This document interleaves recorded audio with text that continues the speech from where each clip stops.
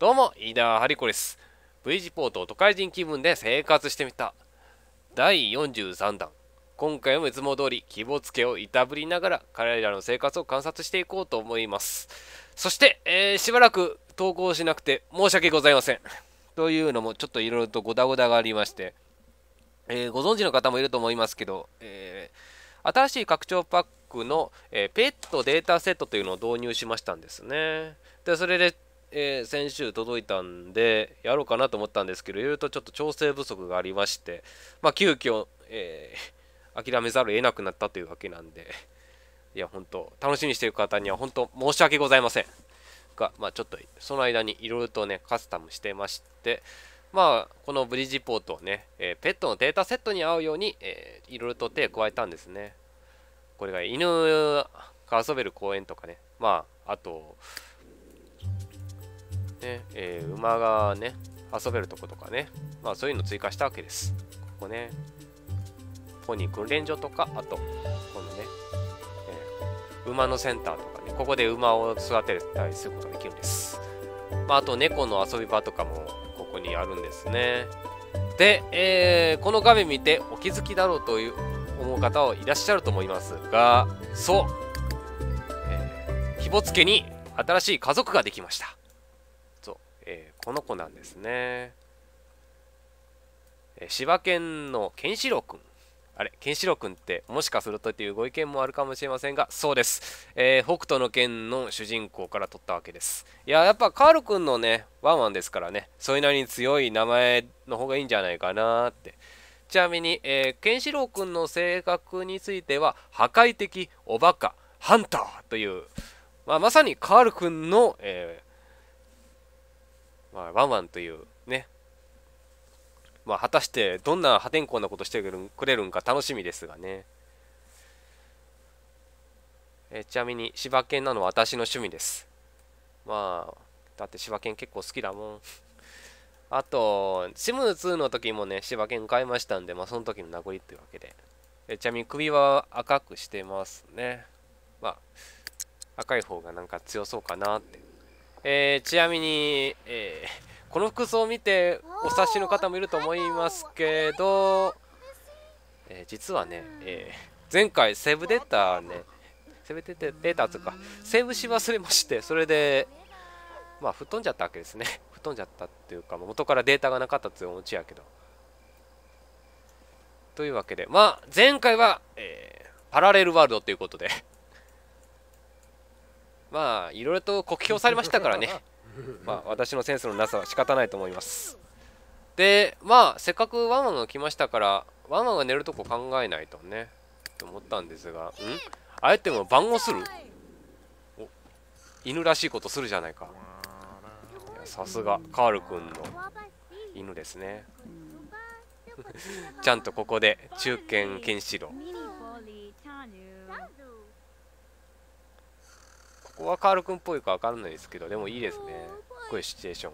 まあ、せっかくなんで、一発取っときましょうかね。パシャってね。ん？あれ？バンするの飽きた？わけないか。立ってるだけなんですよ。しかし、これ便利ですよね。多分泥棒が来ても噛み殺すようなことしてくれるんですね。わかります。で、そこら辺になんか、うん。血がばらまいていて、カール君の血も、なんか口周りも赤い赤いけど、まあ何もなかったということでということがありそうな気もするんですが、まあ、シムズなんでそこのとこ期待してもあれなんですけどね。さて、えーと、カール君来たのはいいんですけど、カール君来たんじゃねえ。ケンシロウ君だ。カール君ペットじゃない。ケンシロウ君のね、寝るとこがないんですね。今気がついたんですが。だからちょっとそれの調達しようかなって。あとね、間宮ちゃんにしても、穂村ちゃんにしても、まあ、成長しましたからね、こういうベビーベッドとかいらないんじゃないかなって。まあ、売るという手もあるんですけどね。まあでもこれから間宮ちゃんとか穂村ちゃんとかが成長して、その娘、息子が出てきた時に、まあちょっと役に立ってもらおうかなということなんで、まあしばらくは家族の持ち物として、えー、置いておきます。家族の持ち物にしておけば、スペース食いませんからね。それに何かあった時はこうやって、えー、購入モードで開いて、また置けばいいんですから。非常に便利なモードです。まこういうのもいいんですけどね、個人的に倉庫的な機能もあればいいなって、物理的な意味でね、でここを増設すればいいか。ここを倉庫にして、まあ、入れなくなったものをここにガシャンガシャンガシャンガシャンって置いておきゃいいんかな。これも一応、えー、子供でも遊べるんですけどね、ちょっとこれはいくらなんでも可愛すぎじゃないかなというわけで。で、あと、ここに電話はなかったか。えー、と、電話どこだ？うん、あ、電話ここや。何かあった時大変なんで、電話はここに置いてあ、ここにとりあえず、えっと、ケンシロウくんがね、えー、寝るスペース置いておこうかなと思いまして。まあ、一応柴犬は、えー、外でも飼えますけど、でもやっぱ私のね、ペットってね、現実に、まあ厳密に言えばばあちゃんが飼ってるんですけどね、え、室内犬なんで、まあそれに倣って、まあそれに室内犬の方がいろいろと、まあトラブルとかあって面白そうなんでね、やっぱカール君の家族ですから。でこの照明もちょっとまあ前、まあ、黒歴史となった回で言いましたけどちょっとこれはまあ地面まあ地上のスペース食いますしそれに暗いんだよね。ちょっと暗いんじゃ不便だかなってやけで。まあこれがねえっ、と海外式らしいんですけどね。いや不便この上ないからね。というわけで。まあ実際私がね、アメリカに住んだかとか、それではないですからね、イギリスとか。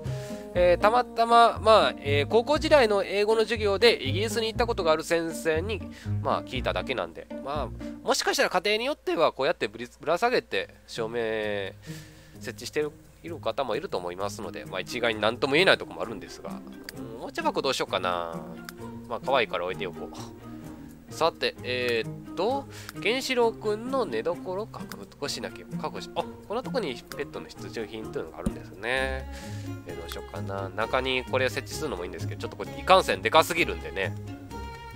これでもいいんですけどね、やっぱサイズ借りすぎてね。えー、っと、ペット用の、未来のペット用トイレ。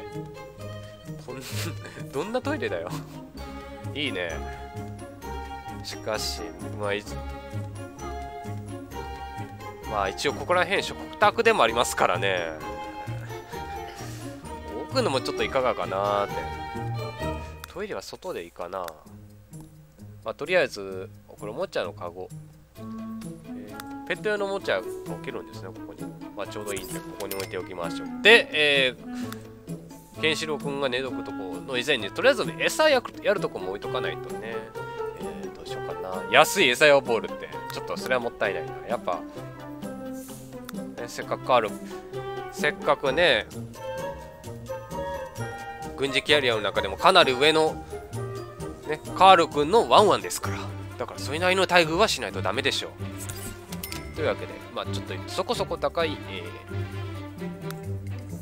ー、であとうんこんなベッドもあるんだ。あこんなお高いのもあるんですけど。まあいいや。さすがにそんな高すぎるんだね。猫バッグ。えー、こんなんもあるんだ。なんかこんなところで寝るとかシュールすぎるな。まあでも猫はいろんなとこ入っていくイメージがありますからね。あながち間違いじゃないと思うんですけど。でもちょっと猫じゃないんであの犬。あれは。まあ確かにうちの犬は猫っぽいですけどつかまあそんなこと言ってもあれなんで。まあ、とりあえず犬用の寝るとこはこれかな。つか思ったよりでかいですね。あらちょっと整理しないとダメだね。えー、っと餌やたやっぱ家族の一員なんでねやっぱ餌食べるところもまあここにした方がいいんじゃないかなって、まあ、実際ばあちゃんうちはうちのばあちゃんはね、えー、犬と一緒に食事してますから。まああの犬自体が本当ね自分自身犬だと思ってないぐらい人間生活にね詰まりすぎてるんで、まあ、それはまた面白いんですけどね、まあ、実際に私が飼うとなると多分外でつなぐと思うんですけどね。まあいろいろと面倒なんでね。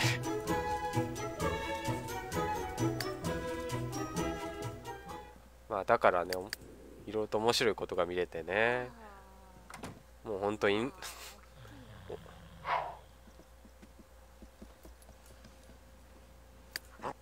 ちょうちのワンワンと同じような寝方。じゃあ遊び方。だでまあ確かにもう眠いみたいですよこの犬。ん？あれ？何？しよう、うん、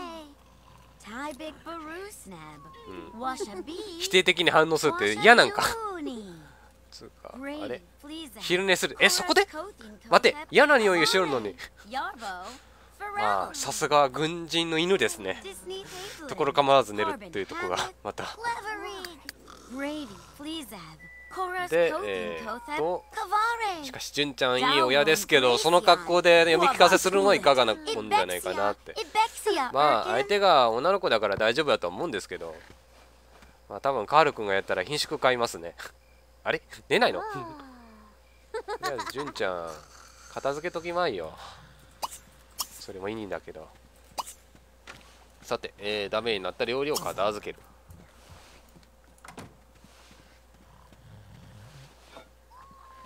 しもう純ちゃん自体も結構眠いみたいなんでね、まあ、久々にみんな寝ることになりますね。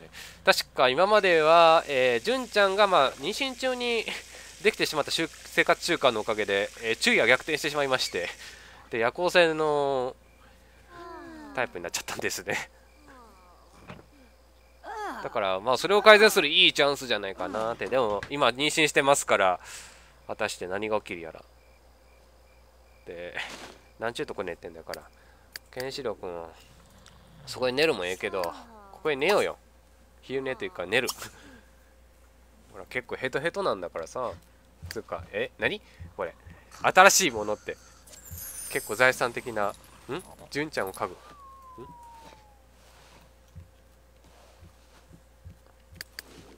で、えー、純ちゃんあれ？寝よ寝ようとしないの？まあとりあえず早送りしようと思います。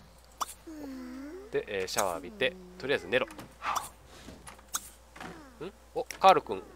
はえ朝っぱから朝っぱらからそれかい。なったくまあ確かにねおじいさんになってちょっとしんどいかもしれませんけどもうちょっとさせっかく新しい家族来たんだから遊びま遊べよ ちょっと。まあとりあえず今気がついたんですが。んえ何？アイスクリームトラックだと。なんでこんなとこに来てんだ？そっかアイスアイスクリームトラックって初めて見ましたね。今まで見なかったのに。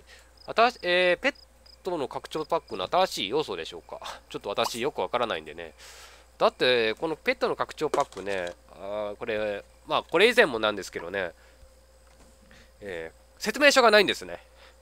だから新要素確認しようにもちょっと分かりにくいという。まあシム3自体は、えー、このように、えー、まあ、レッスンというものがありましてまあこれが事実上まあ説明書みたいな役割をしてるんですけどちょっとこれ非常に不便でね。やっぱね紙のね説明書を用意しないとねって思うんですね私。まあ私自身が昔からねゲームインストールするときにね、まあ、説明書見ながらワクワク、えー、説明書見ながらあこんなゲームなんだねってなんか心躍らせてね待ってた生活くゆえかもしれませんけどちょっと古い人間かもしれませんね。まあそれになんかどうやらこれを半、えー、これを作ってるエレクトニックアーツによるとまあ、環境のために、まあ、神の説明書をなくして環境負荷を減らそうっていうまあちょっと笑い事みたいなことをね実践してるみたいですわ。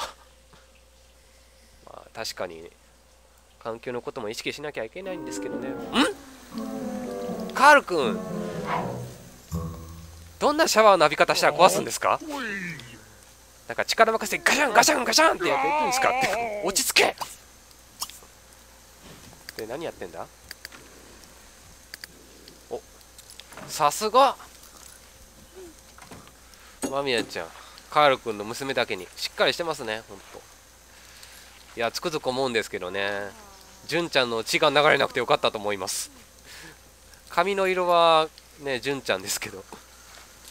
2人ともなんか中身がカール君で面白いですね。まあ、2人ともなんか中身が純ちゃんだったら悲惨なことになりますけど。おで下着姿の我が娘を見つめるカルこのドレコンめと思ったが違うか。ったとりあえずせっかくアイスクリームトラック来てるんでちょっとね買いましょうかね。で、えー、ケンシロウ君は寝ていると。いやかわいいな。そっか。このベッド大きいな。一体何が寝ることを前提にしてるんでしょうか。馬でも寝かせるつもりなんでしょうか。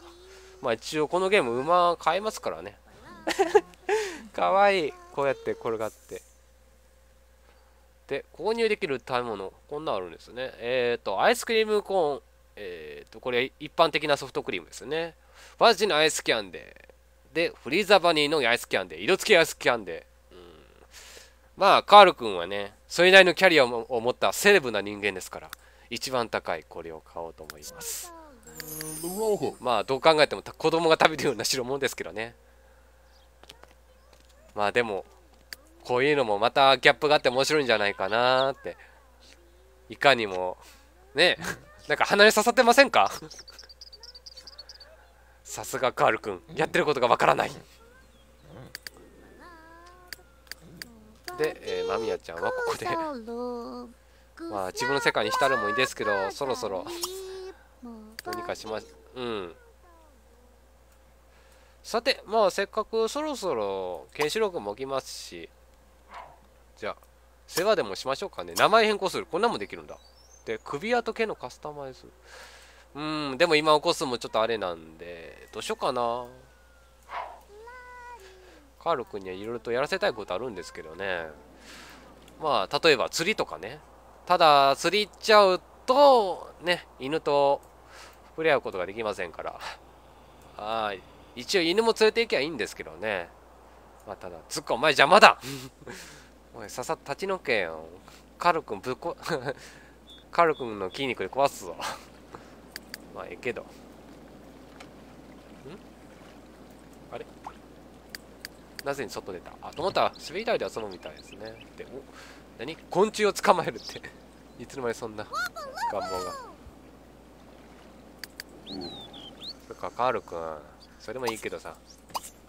とりあえずまあ。ん？あれ？神谷ちゃん遊ぶのもいいけどね。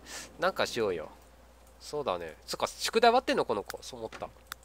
あ一応終わってるんですね。タスがしっかりしてるじゃないか。だって昆虫を捕まえる。しかし漢字の昆虫はどこにいる。うん。まあ願望にとらわれずいろんなことをやらせるのもいいですけどね。あしかし本当ケンシロウ君かわいい。足動かしちゃって。うちの犬もこんな仕草するんですけどね。いやほんとたまらんですね。やっぱ結構動物が好きなんでね。で、えー、カル君にはちょっと選択を。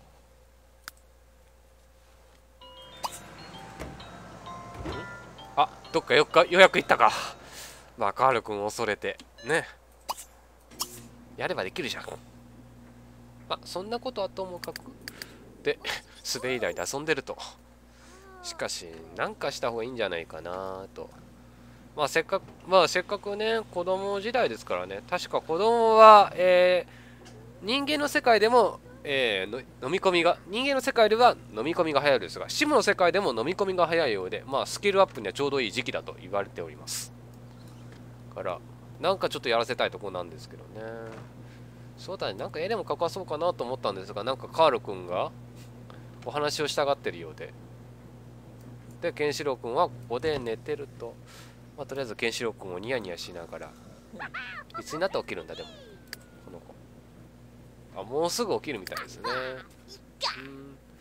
あれ？ちょっとなんか仲が悪くなってる。でもやっぱ作り話をするって。でもやっぱ血はつながってるんで本当気が合う親子ですねしかし、その格好でお話しするのはいかがじゃないかな、カール君。まあ、これが気をつけだと思うんですけど。お、起きたか。で、テレビを見るって、おい もうなんか、早速人間様々な状況になってるな。で、ご飯を食べると。まあ、それはお腹空いてますからね。破壊？なんじゃこの欲？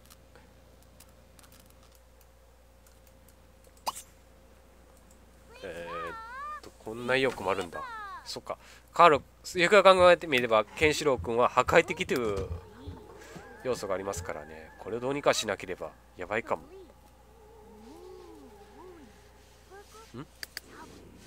で、肝心の？ちょ、何をやってんだよ 外で。しかも一人、独り言、まさかの。さすがカール君の娘、何をやってるんかさっぱりわからない。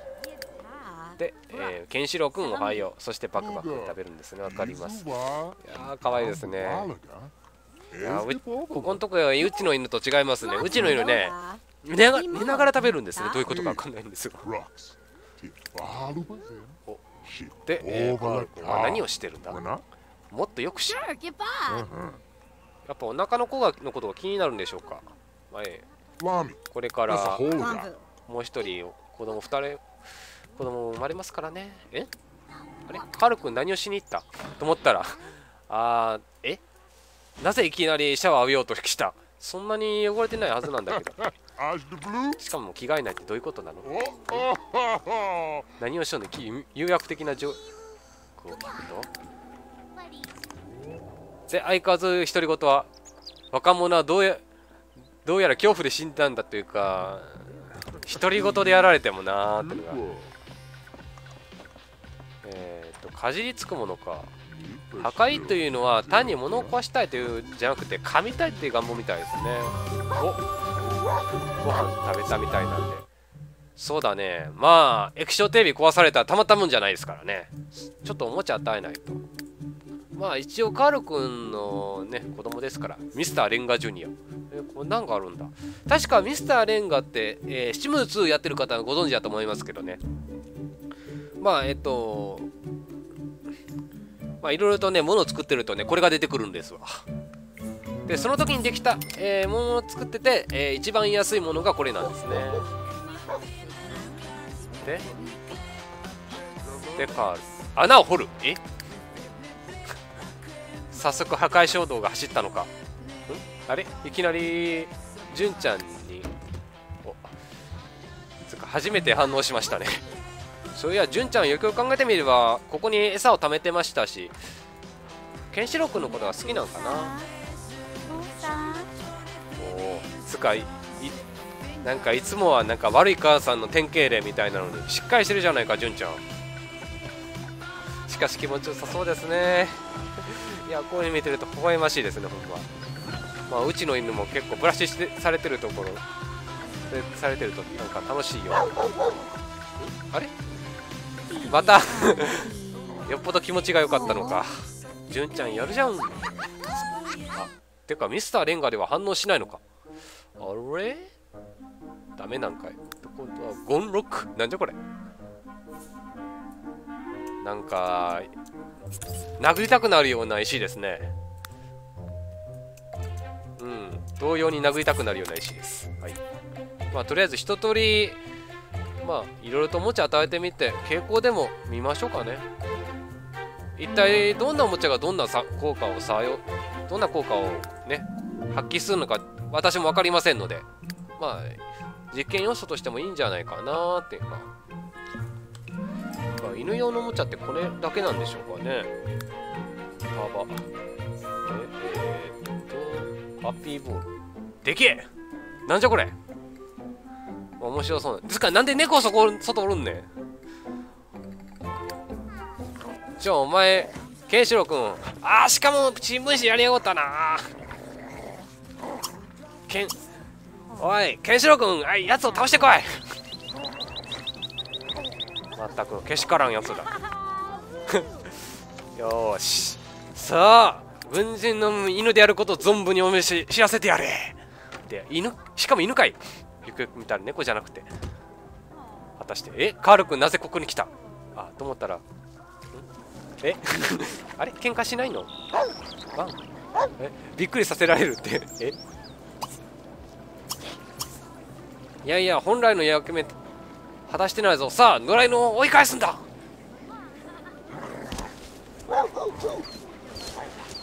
果たしてどっちや？おさすがケンシロウ君強いじゃないか。さじゃあ追い返しちゃえ。っ ていうかあれ？なんかすごく やるせない顔で立ち去ろうとしてますね。何をやってるんだお前。ん？ラブリー？まあこういうの見てて楽しいですね。で？